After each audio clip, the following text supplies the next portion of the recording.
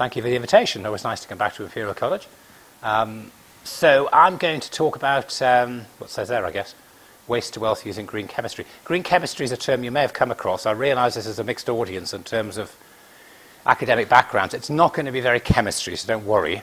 I, won't, I will have some chemical structures, but not too many. I mean, the emphasis really, although it's called green chemistry, I often think the, uh, the name's a bit deceptive because it's chemistry, it actually covers an awful lot of things. And, um, and one of the things I've had to learn to do, and my colleagues similarly, has been to learn how to be genuinely multidisciplinary.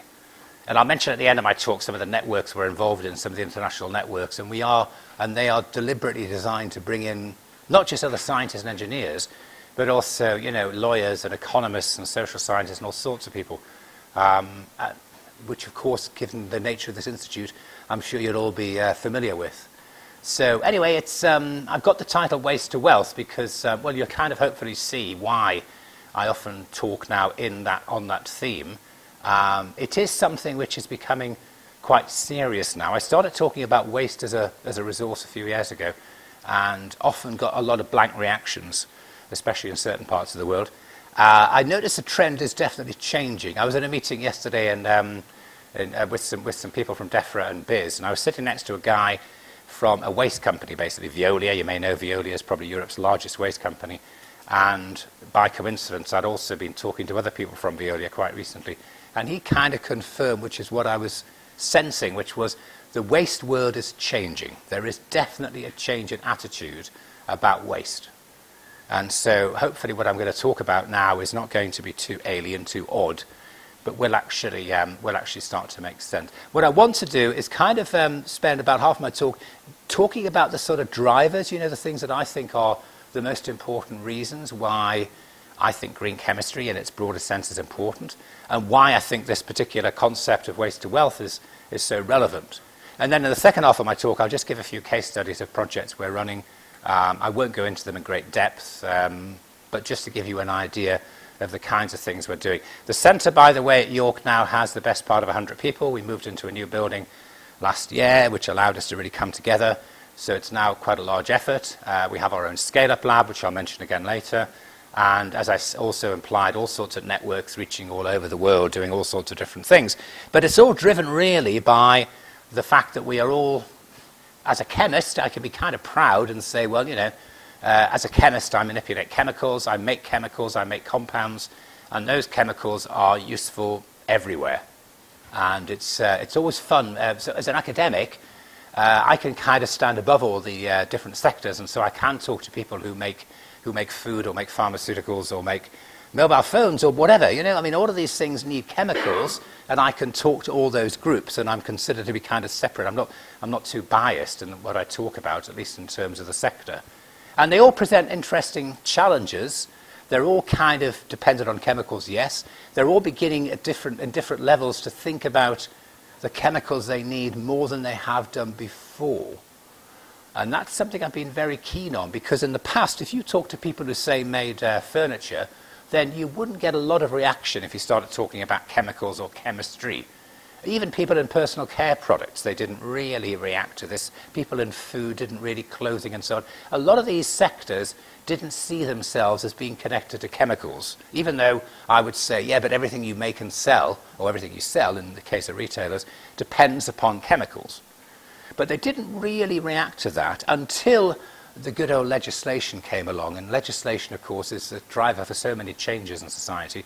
And the legislation, which has been, I'll come back to again in a moment, which has been really forcing people to rethink the chemistry and the chemicals that are used, is beginning to make all of these sectors wake up to the fact that actually, you know, they are dependent on these things called chemicals, which have complicated supply chains going all over the world, which actually are not as simple as it seems, which actually are not as guaranteed as it seems, which are not as secure as maybe they'd like them to be. So all sorts of interesting things there. And also wherever you look, you get different challenges. So one of our biggest projects is around pharmaceuticals. And that industry has always been very closely connected to the chemicals world because most pharmaceuticals are still chemical entities and they need synthesizing by very complicated, rather wasteful routes. So they've always been interested in trying to do things more efficiently, more cleanly, more greenly, if you like. So that's and that continues to be a big, a big subject. And in that particular industry, the driver for change from the industry has been about what I just said, which is improving efficiency. So the average resource efficiency for making pharmaceuticals is about 1%. So in other words, they make about 100 times as much waste as they do product. So for obvious reasons, they want to improve on that. So that's the big driver there. So we're involved in a big innovative medicines initiative project, a big pan-European project, the biggest of its kind, and that's very much focused on manufacturing. But of course, there's also another interesting angle on this, which is pharmaceuticals in the environment, often called PI, which is an emerging, well, I say emerging, it's been known and appreciated for many years, but seems to be getting more public recognition than perhaps was the case a few years ago. And that's also, interestingly, triggered a new Innovative Medicines Initiative project, which starts later this year, I believe, which is focusing very much on the pharmaceuticals at the end of their life and what they're doing in the environment. So you know, the range of concerns there are perhaps broader than they were a few years ago. The one in the middle there is interesting because I had no appreciation really of what roads were. I mean, I drive on them like most people do, but I didn't really think about roads until I was approached just last year by somebody from an organization called COLAS. And I mean, anybody here heard of COLAS? I mean, COLAS is the world's largest road construction company. I've never heard of them. They're French, they're enormous. And uh, I was approached by somebody who said, we'd like to talk about green chemistry. And I thought, okay. And went along, and one of the things I did was go to their company and talk to their scientists. And I learned as much as they learned, I think, because I learned about, you know, the chemistry that goes into roads. And there's a lot of chemistry goes into roads. And their concern was very much resource orientated. Um, and they're kind of interesting because they are the ones that use the last stuff that comes out of a refinery. So, you know, I'll be talking about it. Many people in this area talk about biorefineries, future biorefineries, you know, how we're going to be using biomass as a feedstock for energy and chemicals and materials. The traditional petroleum refinery, although it's, of course, got a fundamental problem about not having a sustainable feedstock, it is incredibly efficient. And even when they get down to the horrible black sticky stuff at the end that nobody else wants, the road industry comes along and says, we'll have that. And that's what they basically make roads from. So actually thinking of future biorefineries, and you know, when you're processing biomass, you know, there's always going to be stuff at the end that you don't know what to do with. Well, there you go. It's going to be the road industry. And actually, there is some logic to that as well. So their concern is very much about the feedstock. But depending on where you are, I mean, I'll just mention one more because they're all interesting but all different. I'll mention one more because most of you, all of you probably, have flown an aircraft before. And this presents a particular challenge, not for necessarily the reasons you might think of, but to do with current legislation around chemicals, because every aircraft that I'm aware of is, is designed uh, using um, interface chemistry, which occurs between the plastic and the aluminium frame. So modern aircraft are actually, although you might not think so, they're actually quite fuel efficient. They're certainly more fuel efficient than if they were made from something else. So the fact that they're quite lightweight is very important for fuel efficiency, but it's also rather important when you're 30,000 feet in the air to be confident the wing's going to stay together. Well, the wing stays together because of the interface, interface chemistry between the plastic and the, the organic plastic and the inorganic metal frame. And that's not a trivial, that, that science is quite complicated. And the one thing that works to make those two stick together is chromate, chromium 6. Well, of course, chromate, not surprisingly, chromium 6, has been one of the very first chemicals which has been targeted under modern chemical legislation. So there's an interesting dilemma around that, you know. Do you want to be safe at 30,000 feet, or do you want to be, you know, stick to the legislation and concern yourself with the people having to work with chromates to actually build the aircraft? There's a rather interesting fact about this, which is Boeing. So in the United States, chromate has, has been banned for some time in every state except where Boeing are. So wherever Boeing are, conveniently the legislation is relaxed. But you know, given the the cost benefit, if you like, maybe you think that's worthwhile. So wherever you are, there's interesting uh, challenges uh, looking forward. And of course, we also face the challenge in terms of the actual nature of chemicals themselves and the fact that people don't like chemicals. Um, it's rather alarming when you look at the uh, surveys. So the Chemical Industry Association, for many years, have carried out surveys of the general public and asked them, what do you think about chemical manufacturing? Um, and put it alongside other industries and just make comparisons. And for a long time, chemical manufacturing has only, had, has only been two industries which actually have been less popular among the general public, and they've been tobacco and nuclear. You know, so it's kind of, ooh, you know, we're really down there with the bad guys. Only about one in four people thought chemicals, think chemical manufacturing is a good thing. So they don't make the connection I've just showed you between the things they want and actually, you know, the, the chemicals that go into them. And of course, you know, when there is news about chemicals, it's often very bad. This is a long time ago, but it's still very, very important. There's a, a lot of lessons to be learned about what happened at Bhopal. If you don't know about Bhopal, Google search it. You know, it's, it's a really important case study. I mean, it's so important, it cost thousands of people their lives. It was a real incident, which was, you know, I mean, I guess the key lessons to learn from that, now that we have the benefit of hindsight, is in particular about storage. So nobody really believes that you can, you can do future chemistry without handling hazardous substances. It's, it's inevitable. I mean, everything is hazardous in certain ways, so really, you know, to get the benefits of society, which I mentioned before, you're going to have to get used to the fact we will have to handle hazardous substances. But that doesn't mean to say that you need to increase the risk, because it's all about exposure. And if you minimize exposure, then the hazard shouldn't be so important. Now, this was a classic example of how not to minimize exposure. Because what they were doing, what Union Carbide were doing was they were making a very hazardous chemical and they were storing it in very large tanks right next to a high population area. And, you know, as things happen, of course, there was an accident, there was a leak, some of it escaped, thousands of people died. And even now, there's still all sorts of hereditary consequences of that, uh, that disaster.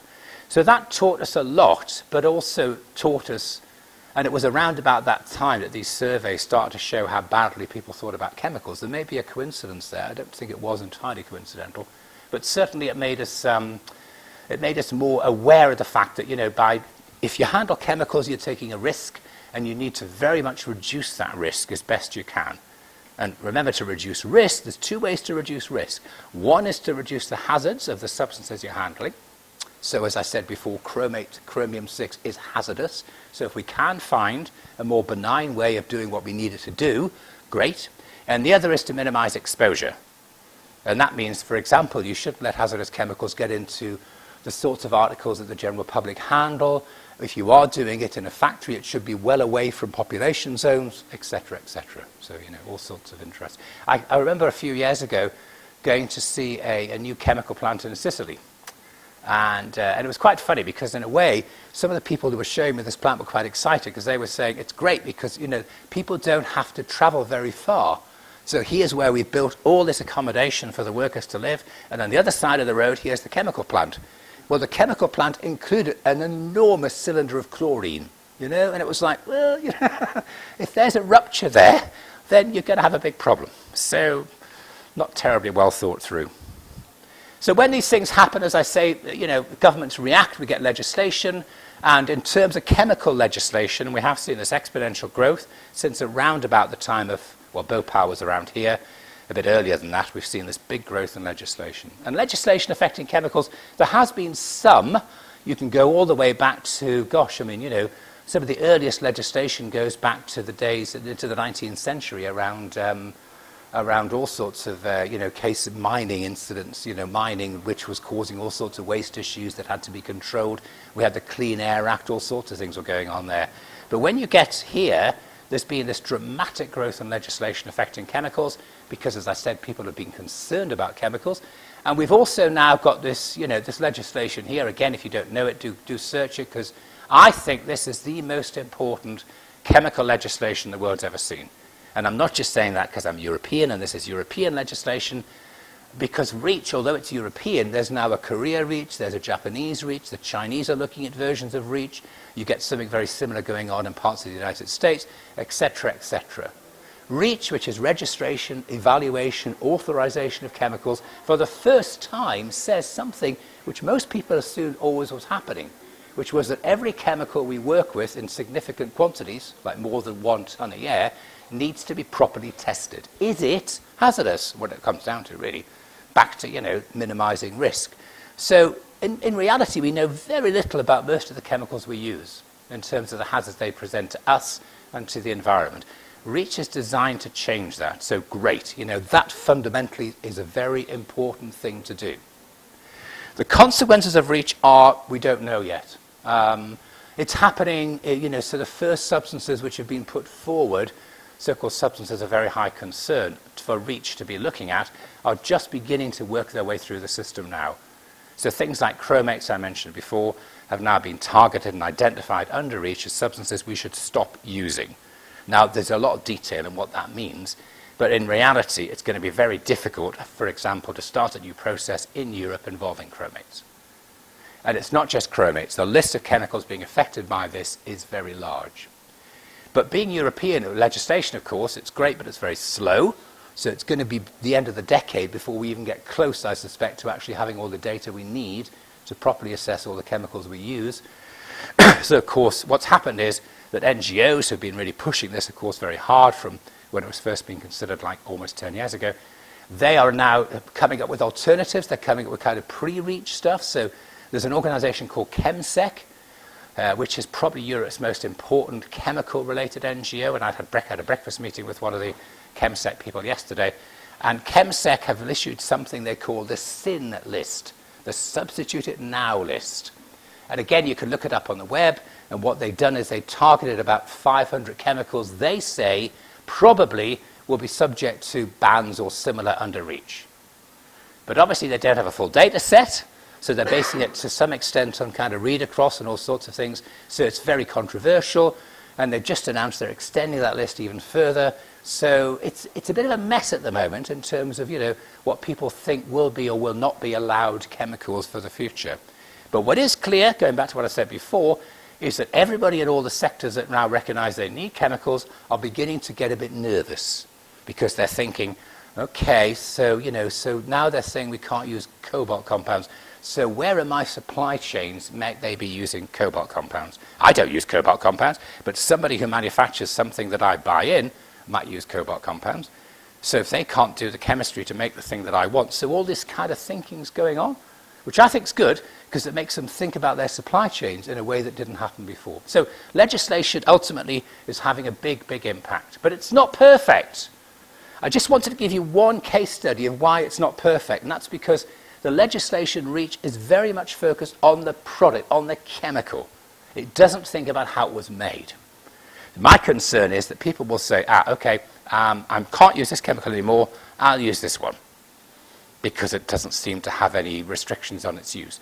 But how that chemical was made, where, what resource it was used, where that resource was harvested, was mined, under what circumstances, is not considered under REACH, which to me is very limited in that case. And here's one example I just wanted to give you of where legislation I think is inadequate.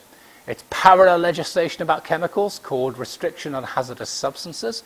This was actually a bit older than REACH, and it's all based around the idea that there are certain chemicals that used to be used in electronics that shouldn't be in the future. And I'm sure most people would agree that mercury and cadmium and lead and our friend chromium, again, chromates, probably better if we don't have them in our, you know, the devices we're using ourselves, as I said, you know, the worst, the worst possible situation with exposure. So, okay, let's ban those. And then Europe generally, which of course is again the, the pioneer on this sort of legislation, also says, and we're a bit worried about some other things. They don't like halogens in Europe, they're very anti halogen. But they look at others that are commonly used and they say they're okay. And there's one of them there, which I just wanted to mention as an example. That's tantalum. Tantalum is uh, used in, I think, just about every mobile phone on the planet. You probably heard this morning about Apple announcing the largest profits ever reported by a company and how many mobile phones, the iPhone 6, they say, I've got an iPhone 6, they're great, you know. Did you know that the iPhone 6 has got over 60 different elements in there? Over 60. That's more than half the periodic table in an iPhone 6. Ten years ago or so, it was around 20. And I'll come back to that point in a moment because that's interesting and significant. But let me just finish this one off first. So, tantalum appears to be okay according to REACH type legislation. Itself doesn't present any serious health problems. But how do they get tantalum? Well, the answer is in a rather horrendous process, which starts with ore, which they mine nowadays in Central Africa, I believe, where in fact the environment, local environment, has been devastated. They then process it with a combination of sulfuric acid and hydrogen fluoride. Now, I was a fluorine chemist once, and believe me, HF is not nice, you know? And then later on, they've got molten sodium, they've got some VOC. This looks like the devil's chemistry kit. It's extraordinarily horrible. And this is going on. Nobody thinks about this. Well, they don't, because all they're worried about is getting the tantalum out to make their electronic products, the next mobile phone. So you know, be careful about legislation which appears to label things as being okay when there's an awful lot of stuff to worry about, maybe a bit hidden. Now, chemical manufacturing on the whole is, is a problem. This gives you some data for the efficiency. I mentioned pharmaceuticals before down here. This is the number to look at. And this is basically saying how much waste we make compared to product. Pharmaceuticals, it can easily be only 1% resource efficiency. Fine chemicals, bulk chemicals. Oil refining, back to the good old petroleum refinery, good old, you know, as an example of efficiency, it's very, very good. There's not a lot of waste in the processing of oil to make chemicals. But generally, chemical manufacturing, as you add value, so what you're doing, of course, is you're taking hydrocarbons at the moment, you're processing them, you're then turning them into higher value chemicals by adding functions like oxygen, nitrogen, sulfur, and so on. And then the more complication you add, the higher the value until you get to really complicated molecules like pharmaceuticals, liquid crystals, and that kind of thing. Now, the functionality's got very complicated. The waste has got really high. So the higher the value, the more complicated what you're making, the more waste you're making, the lower the efficiency. So overall, you know, you're making a lot of waste from starting off with something really simple like hydrocarbons. Which, by the way, is I think I think future generations will look back and think we were totally mad because, you know, in a way, what we do is we wait for nature to turn all these wonderfully complicated substrates into something simple like hydrocarbons, and then we take them out of the ground, and then we make them really complicated again. And it's like, you know, it doesn't, doesn't sound terribly intelligent to me. And of course, we end up making a lot of waste. And the waste is not really, um, you probably know about as much about this as I do. The waste is uh, not really looked after. This is the waste management policies of different, they call it a policy, of different European countries and uh, USA and Japan. Uh, in Eastern Europe, they're still putting virtually everything in a hole in the ground. Uh, Japan is, if you like, the more interesting. You can debate about whether that's good or bad, but they don't have much land, of course, so they're not putting so much in the hole in the ground. UK is about half goes into holes. Actually, this number is now beginning to go down. That's interesting. And that's because of tax. Landfill tax is beginning to bite. And so it is forcing people into being a bit more imaginative than putting things into a hole in the ground. So that's encouraging. It doesn't, it's a bit end of pipe. It doesn't solve the problem of how you should have made your manufacturing more efficient in the first place. But given the fact there's always going to be some other stuff that you make that you weren't aiming to make, then that sounds as though it might be encouraging. Right, now, not a lot of recycling either. So this is looking at the periodic table and looking at various elements and just trying to identify which of those we currently do recycle. In other words, when we've thrown something away, like a mobile phone or whatever it is, do we get the value back again? Well, the answer is not a lot. I mean, the only things we really recycle significantly are these ones here. And of course, you know, platinum, palladium, silver, and so on. I mean, there, of course, I mean, gold, we just didn't have the full data for gold, but gold will be in there as well. We recycle those because we have done for many years. We consider them to be valuable, you know. Psychologically, we think of them as being valuable. Strangely, even more valuable elements that we uh, actually, like indium, we don't consider to be so valuable. So these, of course, are the heart of electronics, as are some of the ones down here I mentioned before we just don't use them. We just don't recycle them. So, you know, at the moment, indium, which is put into, again, is very commonly used in most electronic devices, it, most of it's going into a landfill site, which is not very clever because it's going to run out. And according to the data that we've got, I'll show you later, it's going to run out pretty quickly. These are the rare earths you've probably heard about. They're very controversial because most of the rare earths at the moment are um, in China. And again, you see, we're not recycling them. You know, there's hardly any recycling going on for most of the elements which we are using in large quantities every day for making the sorts of things that I showed you a moment ago. Waste, I won't dwell on this, it's just telling you waste is a problem, it's expensive, it's difficult to deal with. Now, just extending the previous slide on, on the periodic table, let's have a look at this in a bit more detail. So we're not recycling a lot of the things we use, how much do we have available of the various things that we use? So this is different to the slide I showed you before.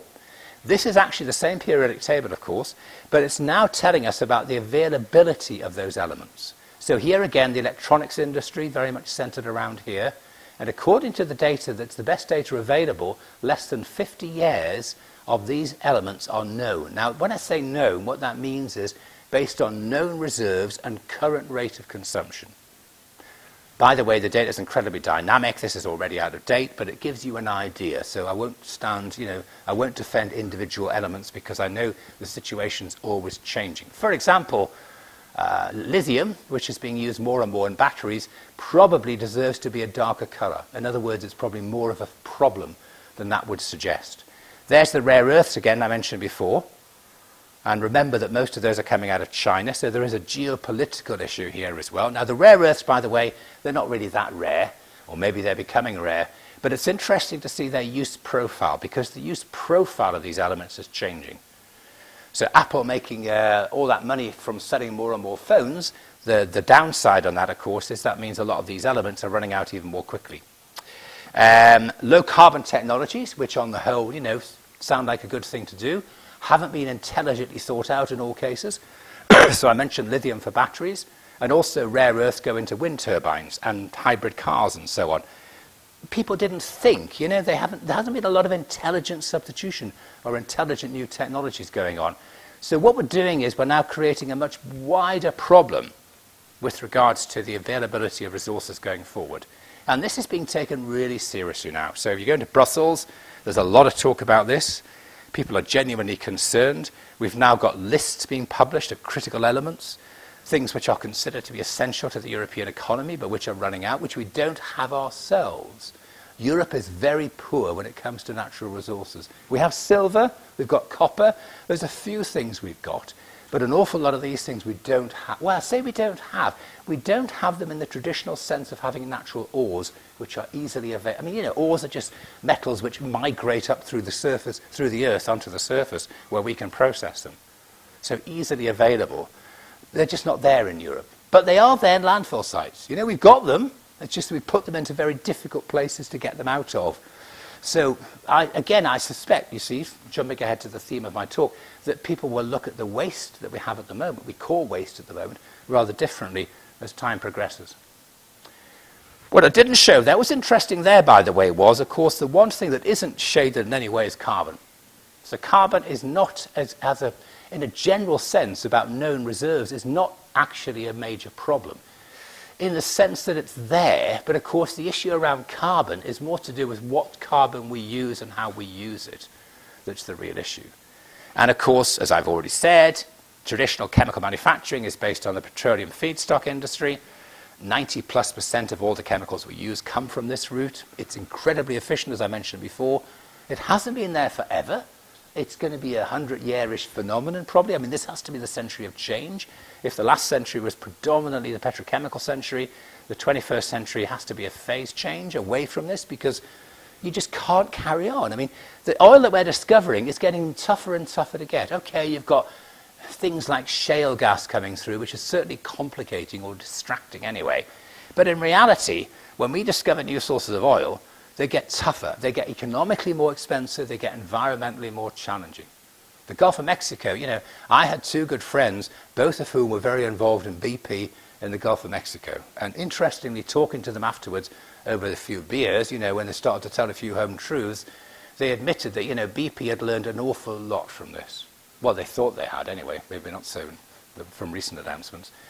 But, you know, hopefully, anyway, some of them anyway recognize that actually that was a real learning experience for them, that future oil is going to get tougher and tougher to get and it's going to, you know, the issue, there's going to be all sorts of disasters associated with it. So really, there's all sorts of reasons why we've got to move away from this industry.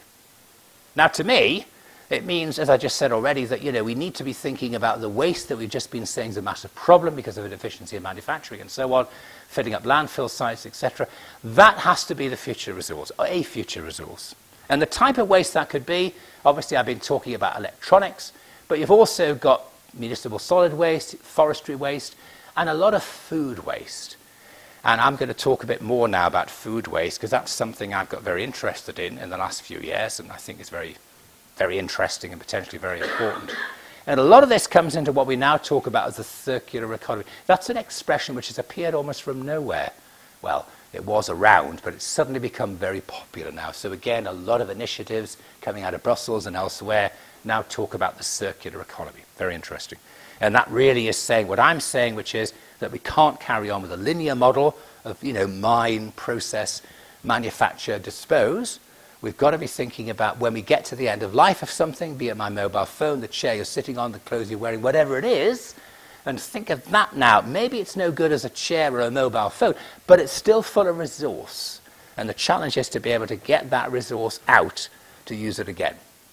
So back to the mobile phone. If your mobile phone contains 60 odd elements instead of 20 something, it's going to make it more difficult to process and separate. So complexity is a problem, I would argue.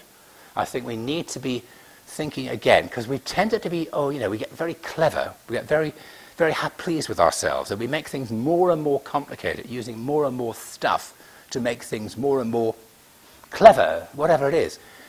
I don't think that's a very uh, sensible approach, so I think there does need some rethinking there. Briefly, technologies we're playing with, we're looking at. So, for example, I mentioned landfill sites. What can you use to get resources out of landfill sites? So, imagine this is a landfill site. You could use plants. Plants are known, they're great scavengers of stuff like metals, for example. So we've had a project running now in uh, a G8 funded project with Yale and UBC in uh, Canada, and mining engineers there, looking at how we can use plants as natural scavengers of metals. And then, of course, the challenge is to get the metal back out of the plant to use it again in a useful form. And that's been something we've been doing quite a lot on. So we've actually been discovering how, for example, with something like palladium, which is, a, which is one of the elements of concern, running out rather too quickly, very useful in all sorts of processes like catalytic converters, but also something like 15% of all the pharmaceuticals manufactured today use palladium catalysis, so not to be ignored. So how do we get the palladium out of uh, mine tailings and other waste streams? Well, there are certain plants that take up really high concentrations of palladium, up to 50% by weight. Amazing. The plants die. It's very good of them, actually, to take up this plant and then sacrifice themselves for us. Whatever. So we then take the plant and we process the plant containing the metal to give us, for example, a catalyst, since palladium is used so much in, in catalysts. And we find it works fairly well, so we can get very nanoparticulate metals, which have got very small sizes. And then when we use them as catalysts, we find they're pretty good, could be better this is looking at things like willow, uh, as a, for example, as a very good scavenger of palladium, but you can tell the activity is fading away with time. So it's not perfect. We can capture the palladium, we can capture it in a very active form, but keeping it stable is still an issue to be, to be resolved. But I mentioned that I've got a real thing about food, well, what I call food supply chain waste, from farm to fork. Because everybody talks about food waste, and it's like, you know, it is a, an emotive issue. I can talk about food waste any, anywhere to anybody because, you know, it's an issue. People can relate to it and they, yes, it's terrible, isn't it? I throw half my loaf away every week and, you know, whatever it is, you know, all the stuff is being thrown away at the back of my Tesco. Yeah, okay. But actually, when you go upstream in terms of, you know, from farming all the way through the processing industries, as I've done, it's very interesting to see just how much waste there is and what that waste is and what it can be used for. So, for example, two weeks ago I was in Turkey for the harvesting, the citrus harvest, when they were actually harvesting uh, oranges and lemons and limes and so on. And then followed a piece of fruit from the actual tree all the way to the process, to the concentrate of the juice that's sold mostly over here. And actually saw the different waste streams and so on. So you can do this for almost any type of food and see just where the wastes are. And one of the biggest challenges about any kind of waste valorization type project is okay, how much is there, where is it, and what's it being used for at the moment? So we're doing an awful lot of mapping. This is just some snapshot data. We've got a website that shows you much more about this, but you can basically say, okay, in Europe, for example, we don't, okay, we do grow a fair amount of, uh, you know, we grow wheat straw, so UK generates about 6 million tonnes a year of wheat straw which, by the way, is still less than the amount of biomass Drax is going to be burning in a couple of years. Um, but there's all sorts of other things as well. So we've got various types of starchy waste, and we've got all sorts of, uh, well, the post-manufacturing food waste, 34 million tonnes a year, is an awful lot. Used cooking oil, people have heard about for making biodiesel, and so citrus waste in Spain, actually citrus waste in the UK. So not far from where I live in York, there's a factory that actually processes and makes their orange uh, flavored stuff and orange juice and so on. And they throw away 50,000 tons a year of uh, orange peel. So, you know, it's not just where they grow stuff, it's where they process stuff, and that's all over the world. When you do go to all over the world, when you go to places like Brazil, Brazil's amazing because they almost 400 million tons of the stuff that's left after they've got the sugar out, and all sorts of other stuff. I mean, everything grows well in Brazil. Africa, Cocoa pods, 20 million tons a year. Asia, 25 million tons a year burned in open fields in Vietnam. And now the Chinese government admitted 175 million tons of rice straw burned illegally in open fields. 175 million tons. That's a lot of carbon. That's a lot of carbon. You know, apart from the obvious uh, pollution implications of burning it in open fields, if they could capture that, use that carbon, organic carbon, in a constructive way to substitute petroleum and so on, that could be fantastic. So the potential for utilizing all this is fantastic. And the total volumes, the UN reckons these are the numbers, over a billion metric tons of edible waste, probably two or three times that amount of inedible food waste this last year was the European Year Against Food Waste. It kind of initiated lots of stuff that we're doing. We need to do a lot more. But it's, it's a movement. So, for example, in two weeks, three weeks, I'll go to South Africa, and the Western Cape government there has actually got a food waste policy now, and they're looking at uh, mapping, they're looking at how they could. So, very similar to this. So, all over the world now, people are beginning to take this sort of thing seriously, which is, which is great news. So, you know, why food supply chain waste? Because you can make so many things. Just gives you an idea about the things you could make. All going into what we call the biorefinery, biomass, processing, biochemical, chemical, whatever, to make various things, to make all sorts of products that we have. We know we can make all these. The challenge is to make them in larger volumes, make them more efficiently, make them more economically viable, and so on. And one of our favorites is this. This is the Orange Peel Exploitation Company, because the world needs a new OPEC. So, What's that about? Sorry, I know. Uh, when we first, we first submitted a paper for publication in this area, one of the referees wrote back and said, Professor Clark may find this title amusing, I do not. Right. I've won. Yes, fantastic. This is the new OPEC, yeah. So it's all, this actually came from a PhD. It was a PhD student actually had this original idea, and it's fantastic. And basically, we recognize that people know this. It's been known for a long time. When you squeeze an orange, there's more than half the weight left. And this weight contains all sorts of interesting chemical goodies like limonene, flavonoids, pectin, sugars, and so on. And it's quite easy to really get that value out. So we, our preferred technology is using microwaves, but there are different ways to do it. We like microwaves because it's very energy efficient. It's kind of food grade. It does a simultaneous conversion of the peel into all sorts of different chemicals. But, you know, this gives you huge potential for making all sorts of chemicals. Here's some chemical structures for the chemists among you. So basically, you can make all sorts of interesting molecules, and then from those, you can make even more molecules. And you end up being able to make plastic intermediates and catalysts and solvents and all sorts of stuff. Really interesting. And we took one of those things, limonene, that people know about, and used it as a solvent for doing some very common organic reactions for the pharmaceutical industry, who, as I said, desperately need to improve the efficiency of what they were doing. That got us thinking about solvents. Solvents is one of the biggest, people don't talk so much about solvents, and yet Solvents are huge. You know, they really are enormous. I mean, the volumes of solvents, 20 million tons a year. The pharmaceutical industry uses huge amounts of those, but so do many others like coatings and so on. Almost all of the ones we use today are based on petroleum. Many of them have all sorts of issues, atmospheric damage, but also toxicity to humans and so on. All sorts of reasons we need to do better when it comes to solvents. So we've been playing around with something we call our Sustainable Solvent Selection Service, just to give you a case study of the approach we're using to try and help people who want to find something to replace what they currently do. Substitution, but intelligent substitution. This is just detail about how we actually work with the client to come up with a better understanding as to what they need the solvent for, and then look to find a greener alternative. And so, for example, these are common organic solvents used a lot by the pharmaceutical industry and they are now subject to almost certainly they'll be at least restricted, possibly close to banned under REACH and similar legislation. So we're working now to find a greener um, solution to this. And we've got a company we're working with in Australia, but now also in the UK, who basically take waste cellulose and convert that into a molecule called Cyrene that we identified as being a possible solvent. And we've now shown it is a very good solvent. And they've just got a big grant to build a production facility in southern Australia for the first one of these. So hopefully it's moving in the right direction. It is possible to make intelligent substitution for chemicals that we currently use that we shouldn't be using and which legislation is telling us we shouldn't be using. But it needs to be intelligent and not just a random choice of something just because it's not on some blacklist. As I said, we like our microwave technology. What we do is we use continuous microwave processing. So we have microwaves that go from this size to as big as this room.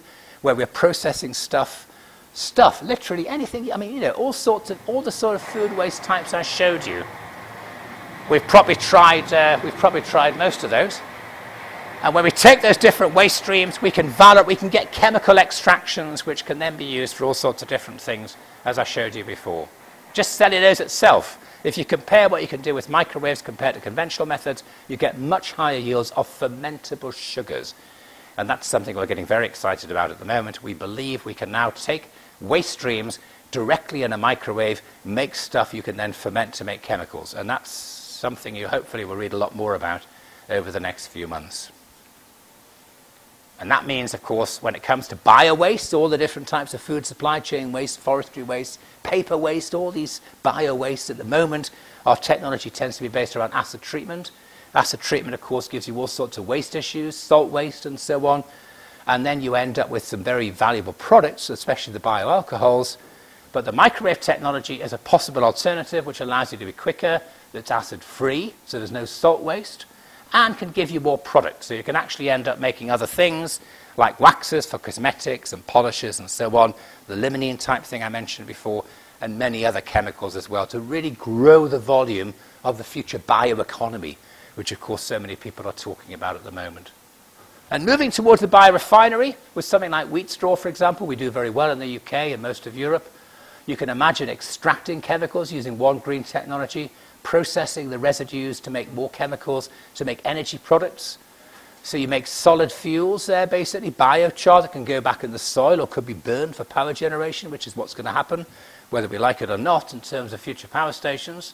So people are burning more and more biomass. When they burn biomass, they're left with ashes. These ashes contain chemical goodies, again, so rather than think of them as being a problem, let's think of them about it being an opportunity. So we can extract silicates from the ashes from burning biomass like wheat straw and makes porous silicas that can be used as catalyst supports. They can also be used to extract metals. And they could also be used to make uh, adhesives. So this is furniture we've had made in China, working with B&Q, you all know, taking all sorts of different waste streams, but using also a waste-based binder. So the whole thing is genuinely green and sustainable. Um, and this is looking very promising for kitchens. So hopefully in the future, your future kitchen cabinet will be made from basically agricultural waste processed in the right way. You can make higher value things. We have our own Starbons, which are porous solids made from food waste. I won't dwell on this. All sorts of interesting physical properties. They can be used for trapping dyes, for environmental remediation. They can also, back to my original point about metals, they can also be used to trap metals. So this is what happens when you take some of that ash from burning biomass, which is full of metals. And these metals at the moment are a waste problem. But something like the Starbon technology will pull out certain metals. We're not exactly sure why, but it takes out lithium, chromium, nickel. So it takes out some of the metals that actually are particularly valuable from those mixtures to be used further on. And one last sort of pseudo-technical thing, which uh, uh, you know, I, I can't underestimate, even though it's incredibly boring, in that standards. Because you know, the word of standards is very boring, but it's really important that we standardize, because at the moment you can call something bio-based if one molecule comes from a bio-based source, which is ridiculous. We've got to get these things tightened up. The customer has to be confident that when I say I've got a bio-based solvent, it genuinely is bio-based. And they can read about, you know, what was the resource, how was it processed, this sort of stuff. That's necessary. And that's happening now in Europe and hopefully will happen around the world a bit later. So the standards world is catching up and I think is really, really important. And will consider, I hope, more than just carbon. Because I've already implied we have to be thinking about more than carbon as we go forward if we really are going to make the whole thing sustainable. Just briefly ending up by just saying about who we are at York. Obviously, we're doing research, lots of industrial collaboration, education, networking. Uh, this is showing, this is our new building we moved into last year. This is an example of one of the bigger apparatus. This is our 30 kilo per hour microwave processor. So you can see that's a hopper. We feed the biomass in there. Then it goes through here with a screw feed. And what you can't see here actually is a whole series of separations to take out the solid, the gaseous, and the liquid products for further downstream processing.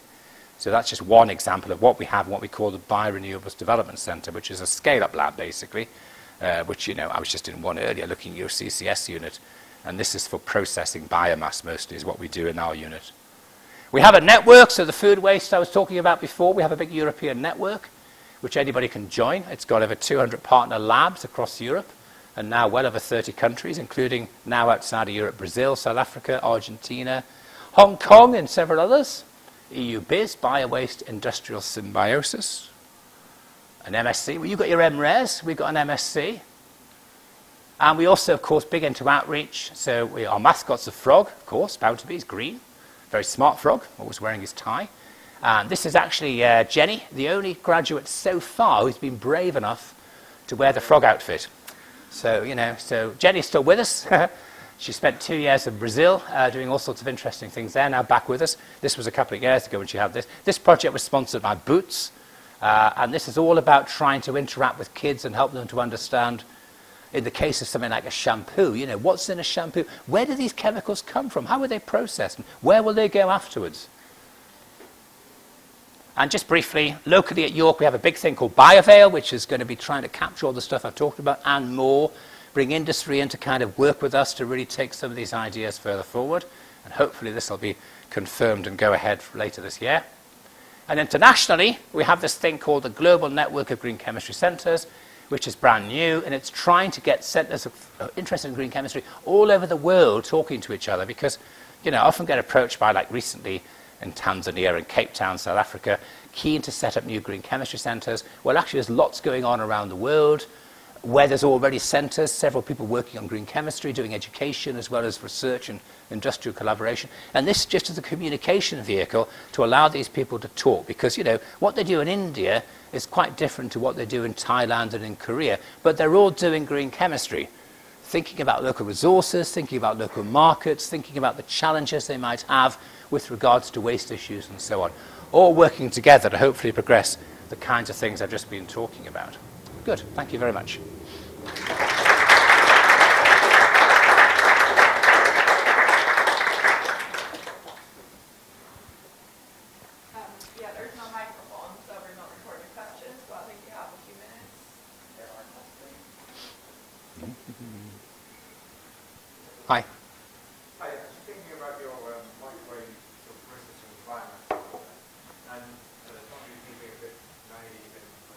No, no, no, be naive, please, because it. um, but your kilogram scale sort of device yeah. seems like what I would expect for a microwave oven, which we deal with kilogram quantity. Right.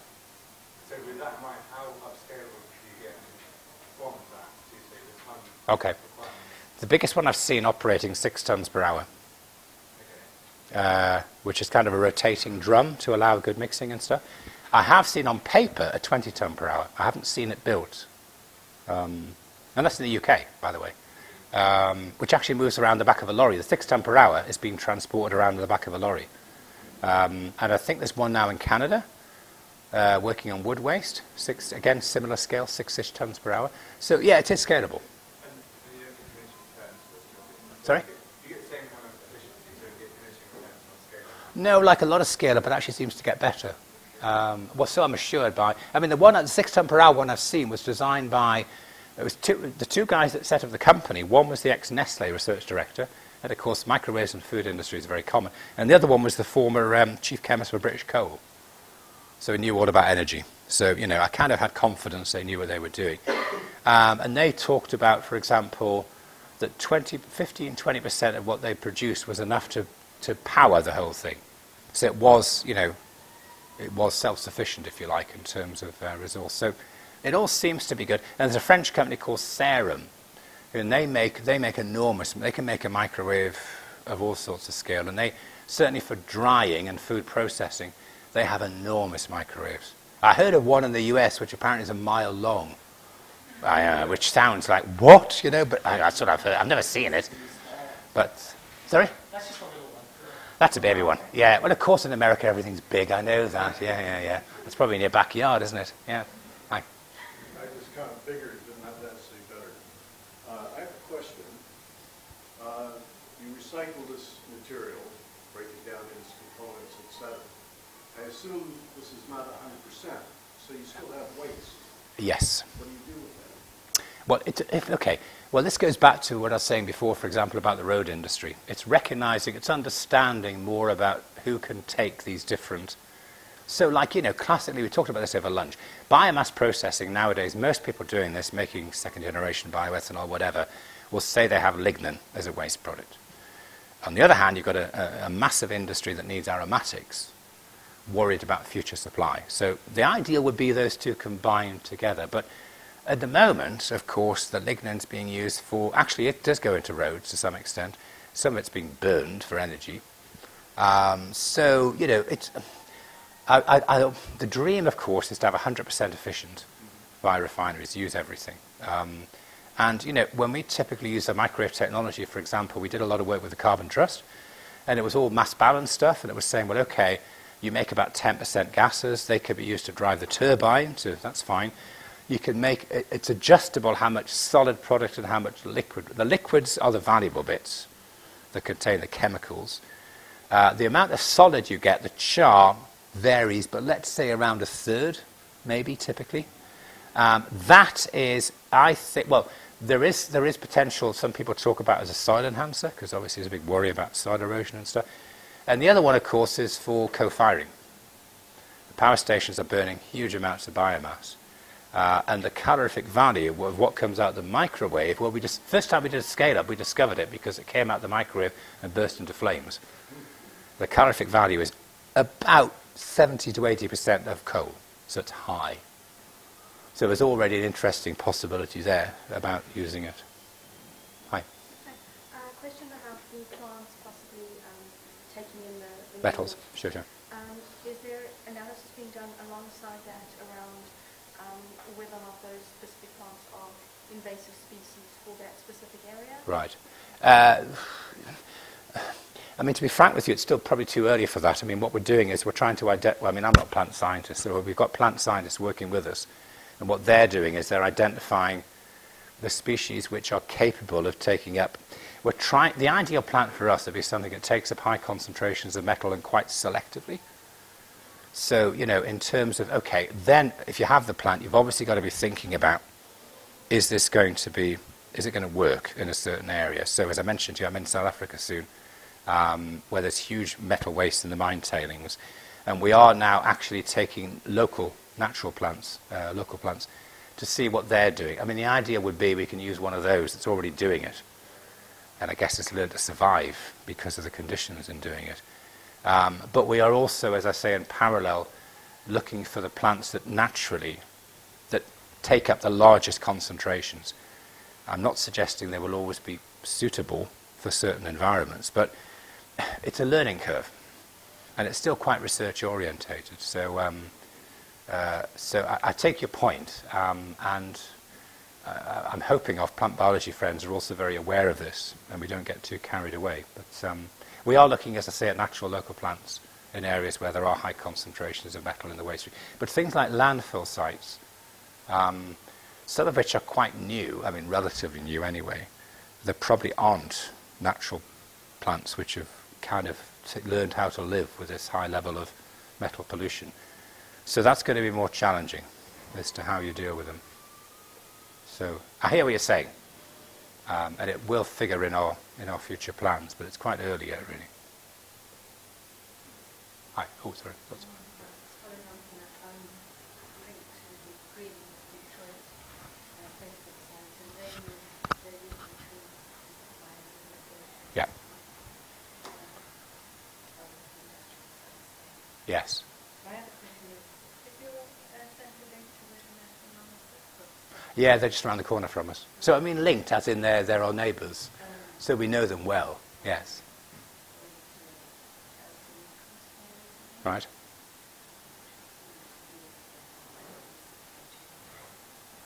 Hmm. Right. In terms of temperature, I saw 250 degrees C in terms of the microwave. It's actually that's that's wrong. We most of our microwave processing is below 200. Is it? Yeah, So you get everything out, even the uh, biochar out at 200. you'd be amazed. I'm interested from a solar point of view. working Okay. with The guys here on on solar. and All right. The idea of generating very high temperatures, but uh, obviously if we can generate successfully very high temperatures, then we can have some of the lower temperatures from some of the processing we do at very high temperatures for, for powering that process. Now, there's nothing special about the microwave, it's just a fuel efficient way of getting it to 200 or 200. Well, it's also I mean, a microwave is a very very efficient way of getting the energy into the That's what I mean. material. You're not, it's not crucial what frequency you're using the No, no, no, no, no. it for energy efficiency. Yeah.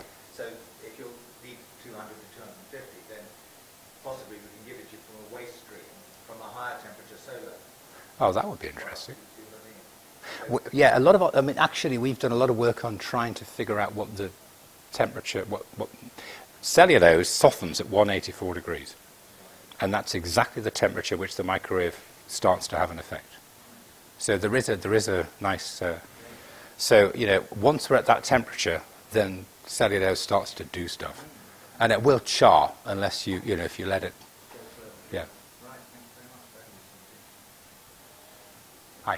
Oh. Uh, you mentioned um, Apple using many more elements in their mobile phones. Yes.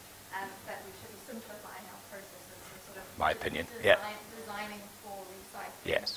And I was wondering if you can sort of see any scenario in which companies might be, might start doing that of their own initiative, or is it something we're always going to have to be using? Well, the price of metals, of course, I mean, okay, there's all sorts of hiccups because of the recession, but the general trend was that a lot of these metals, the price was going up. Indium, I can't, went- went up by a factor of 10 or something over a fairly short period of time.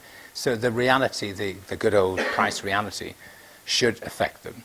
And I just wonder, and one of my I, crazy ideas is whether there's going to be some kind of taxation or uh, or even some kind of rationing. You know, because as I say, if you look at the trends for Europe, it's very worrying. Europe's very nervous about having to rely on, you know, South Africa, China, Russia as supplies for a lot of its critical elements. So, um, you know, so a reaction, one reaction to that could be a form of rationing in some way. So, um, I think there could be some government pressures on these companies to be more, and also, well, yeah, I guess to, so either they're going to get the things back again by, I mean, you know about the WEEE legislation, the Waste Electronic and, uh, legislation. Now, I think, you know, in the ideal world, that would include the companies taking the resource and getting the back again. But that hasn't, to the best of my knowledge, happened very well. Um, but that's, that's what you need them to do, because they're probably the best people to. I mean, in the, world of chemical catalysis, you see, people like Johnson Matthey, it's quite common now to talk about leasing catalysts. So if you want to use palladium as a catalyst, you can lease it from the company. And then you give the waste back to them, because they're probably the best people to know how to process and get the value back again. So the leasing thing is already happening. And, you know, maybe in the future when you buy a mobile phone, it's a leasing thing. You will get, you have to give it back or you get penalized if you don't, you get credit. And they, then the company has to be seen to be putting it back in to its manufacturing processes. Yeah. Can Hi. you say any more about the uh, strategies for these landfill sites? I mean, clearly it's early days from a research point of view, but uh, is is the government starting to think through what to do with landfill sites and how to use them? Well, I mean, I sat, so I had a meeting yesterday with a guy from BIS, and he was saying that, uh, just saying to mention this at lunchtime as well, that they're hoping pre-purdah, because we're almost at PERDA day, so in other words, you know, nothing will happen soon because of the election, but he, he hopes that by within two weeks there will be the first um, formal report coming from the government in reaction to the House of Lords study on, on bio-wastes. Um, and landfill sites should be figured in there. But I, I don't know. I haven't seen this yet. I was promised to have a look at it. I haven't seen it yet. Um, I know that Belgium, uh, they had an official opening of a landfill site. I couldn't get to. One of my guys went to it. Um, I, I think they... Sorry? the gas plasma systems, the one we're talking about, is it? I don't know. I, didn't, I wasn't there, but they, I know there was an official opening. Um, one of my guys went there, and there wasn't. They, I'm not sure they're going to do anything, but they're certainly. Um, Because there was one in, in, in Belgium that was really quite state of the art, using gas plasma at very high temperatures. Oh, I see. Working on a Belgium, one of the big Belgian uh, landfill sites, and it was getting 200,000 households electricity. for this was all energy, years from it. right? Okay. I don't think it was that one because I was told this was more to do with actually looking at it from the point of view of mining for resources. Yes, that was going to happen first. Okay. Then, so that All right, the okay. Mine for resources and then use what you, Yeah. you can't get anything valuable out of. Uh, but with this very high temperature, you're getting very, very good uh, returns because of the high, very high temperatures, Okay. That sounds reasonable. I mean, I went to what I was told was the most advanced landfill site in Europe, which is in the south of Spain, near Cordoba. Uh, and I was taken on a tour there, and that was really interesting because, I mean, they weren't doing anything really clever, but the psychology there, they were talking about them being a factory and the waste as being their feedstock, and they were talking about the products. And you know, none of the products were that clever. A lot of it was just separating and selling off. But they reckon half, more than half of what came in went out again. So I like that because it was a very positive attitude towards what they were doing. Um, and if you could just add something a bit more clever, which could be the energy side you're talking about, but of course, ideally, to satisfy some of these issues, there's got to be a resource you- element in there. again, Officially with the, with the KTN to do with the circular economy now, the new KTN? Uh, not officially, but we will be. Yes, Yeah. we have we have we have connections into. Yeah, there's a lot going on now. I think, as I say, the circular economy thing is, is picked up really, really quickly, which is which is interesting. Um, and there's also, you know, the Ellen MacArthur Foundation, which, um, Yes, exactly. yes, I mean, I've, Yeah, Forum for the Future doing a lot on the circular yes, yes, yes, they are. So there's, there's a lot of people talking about it, and um, I'm just keen to see the kind of technology keeping up with it or matching the expectations, because uh, a lot of it's still what I would call kind of first generation. Yes. thinking. You know, people get very excited about AD. I mean, I've been to various, I've been to a couple of farms in Yorkshire where they've actually, I mean, one farmer I met had spent over a million pounds on building an AD plant, which he wasn't very happy with because it was barely returning on investment. But it was, you know, okay, it's AD, it's something, I suppose better than nothing, but it still seemed to me like a, a waste. And it's a, a, a relatively low tech. I mean, have you heard what uh, Yorkshire Water are doing with uh, gasification of sewerage and getting a good return? Are they? out of it? Yes. So again, high temperatures, getting Right. more out of sewerage. It's very interesting. Right. I know Yorkshire, because funny enough, one of my guys was talking about a meeting with Yorkshire Water.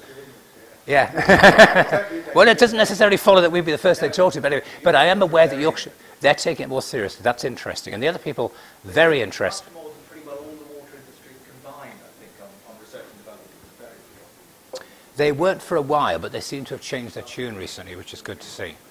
There's also, I mean, another interesting sign I saw very recently was Drax, Europe's largest coal-fired, not far from uh, where we are. And for years, we've been banging on their door saying, can you do more than just burn stuff, please? And actually, I sat in a meeting just last week, and one of the senior Drax guys actually, for the first time, said, maybe we should be thinking about this. Because, of course, they've got the infrastructure set up. They're going to be burning 8 million tons of biomass a year very soon which of course they're bringing in from all over the world, which is crazy, I think. But anyway, so let's, if they have all this biomass, can we please, please, please think about more than just burning it? So people at least are beginning to recognise there's, you know, a bit more than just the simple stuff before. So there's some encouraging signs, yes.